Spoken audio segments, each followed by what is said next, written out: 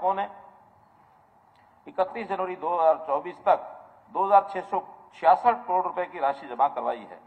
मैं इस योजना को 30 सितंबर 2024 तक आगे बढ़ाने का प्रस्ताव करता हूँ, ताकि शेष लाइसेंसधारी भी योजना का लाभ उठा सकें।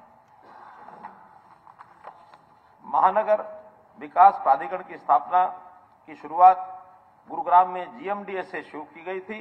इसके बाद तीन ऐसे अन्य प्राधिकरण, फरीदाबाद एफएमडीए पंचकुला पीएमडीए और सोनीपत एसएमडीए स्थापित किए गए हैं। हिसार के लिए एचएमडीए का, की स्थापना प्रक्रियाधीन है।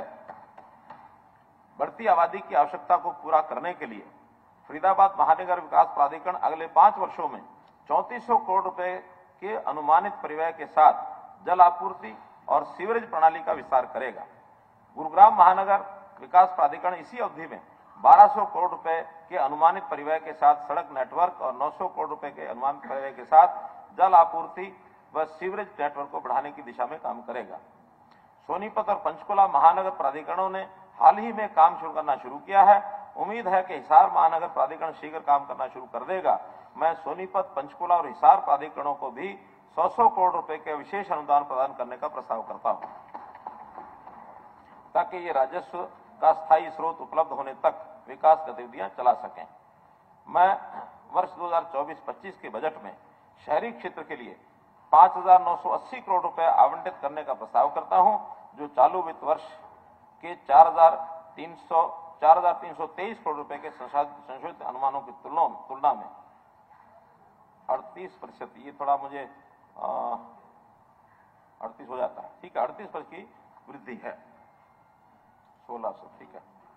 सभी के लिए आवास मान्य अध्यक्ष महोदय, मुझे ये बताते हुए खुशी हो रही है कि सरकार ने पिछले साल एक नई योजना, मुख्यमंत्री शहरी आवास योजना, ये शुरू की है, जिसका उद्देश्य उन परिवारों को आवास प्रदान करना है, जिनकी वार्षिक आय एक दशमलव आठ लाख रुपए तक है और जिनका स्वयं का मकान नहीं है। इस योजना में दो दशमलव आठ नौ लाख परिवार पंजीकृत हैं।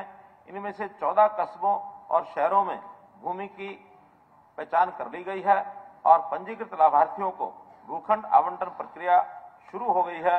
मुझे उम्मीद है कि अगले छह महीनों में इसका लाभ हरियाणा के सभी कस्बों और शहरों तक पहुँचा दिया जाएगा। वर्ष 2024-25 में ऐसे लाभार्थियों को प्लाट या फ्लैट उपलब्ध कराने के लिए 1000 करोड़ रुपए की राशि अलग रखी जाएगी। ये राशि आंशिक रूप से हरियाणा शहरी विकास प्राधिकरण द्वारा अपने आवास दायित्वों के तहत प्रदान की जाएगी और राज्य बजट से भी आंशिक रूप से पूरी की जाएगी।